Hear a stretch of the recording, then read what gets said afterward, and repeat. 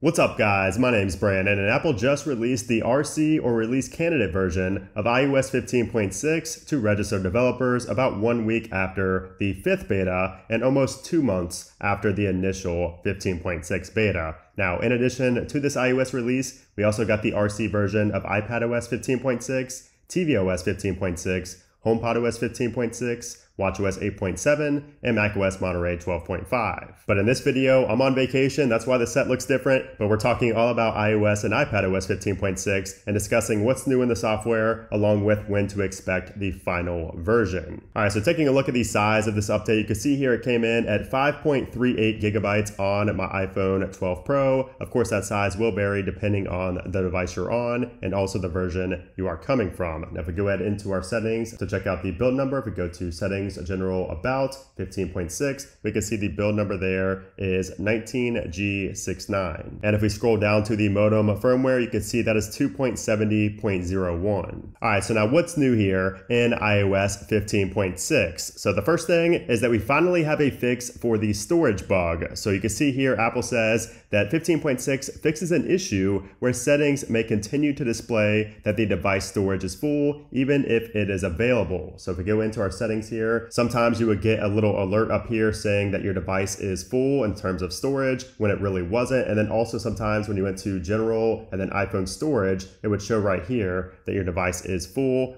even if you had available storage remaining. It wouldn't show this as full, you would just get a little pop-up here that said that the storage is full even if it wasn't. We also have a fix in Safari relating to tabs. So it says it fixes an issue where a tab may revert back to a previous page. So if you switched tabs, sometimes it would show the previous page you went on instead of the actual page you had open in that tab. We get some new features in the TV application. So you can see here we have a new splash screen for Apple TV and it says Apple Originals, Share Play, and Shared with You. So those features we have covered, but this is a new splash screen. And then also when we go in here, Apple mentions that the TV app adds the option to restart a live sports game already in progress and pause, rewind, or fast forward that live sports game. So if you go to the Watch Now tab and scroll down a little bit, you will see some of these sports games right here. So Major League Baseball, we have Friday Night Baseball, of course. Apple is making a big push in sports for Apple TV Plus. So that is pretty cool. You can see there's a live game right now, and we're now able to, you know, pause, rewind, or fast forward that game, and also restart a live game already in progress. And the final thing mentioned in the release notes is that this update fixes an issue that may cause Braille devices to slow down or stop responding when navigating text in mail. So that's a very specific issue. But if you did have issues with Braille when it comes to the mail application, that is also an issue that has been resolved with this update. And in terms of other features that Apple did not mention, we do have something new in screen time. So if we go into screen time right here and go into one of our family members, you can see we have this improved communication safety. That is a new feature in 15.6. And when you tap on improve right there and enter in your passcode, you can see you get this new splash screen right here where you get the option to share with Apple and you have the option down here to improve communication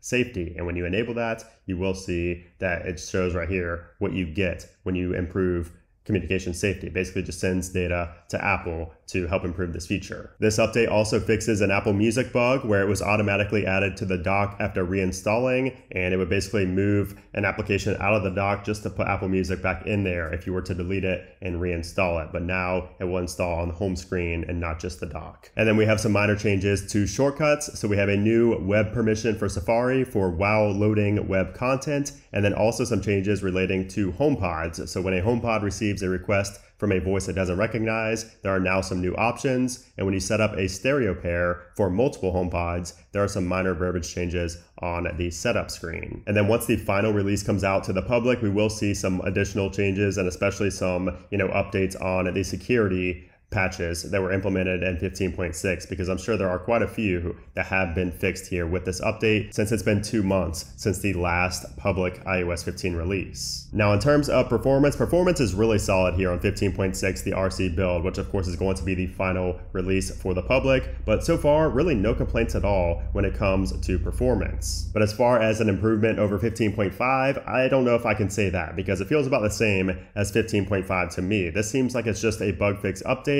and Apple didn't really touch anything relating to the performance or the battery life. So I would not expect any battery life changes. If you had bad battery life on 15.5, it could get better here with 15.6. It could fix some of that battery drain you may have been facing, but I would not expect any dramatic changes in terms of performance or battery life. Now, in terms of the Geekbench scores, you can see I got a 1579 on the single core and a 3822 on the multi-core. And you can see how that compares to the previous betas right here. So we got a slightly higher single core score than any of the previous betas, and the multi-core is right in line with the previous betas. It's a little bit lower actually on the multi-core, but still we do have a better single core than any other version, which is good to see. All right, so now let's talk about what to expect next, and more importantly, when will we see iOS 15.6 get released to the public? And I think we could see 15.6 as early as later this week. So I think as early as the 14th or the 15th, we could see 15.6 get released to the public. Keep in mind, the new M2 MacBook Air launches right here on Friday the 15th.